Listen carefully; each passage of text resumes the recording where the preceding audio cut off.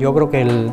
reto es primero que salgan a la luz las cosas que ya se están haciendo aquí en, España y yo creo que también tener en cuenta el compromiso social y que cualquier gesto o cualquier mejora en la educación vaya siempre en, el beneficio de los niños.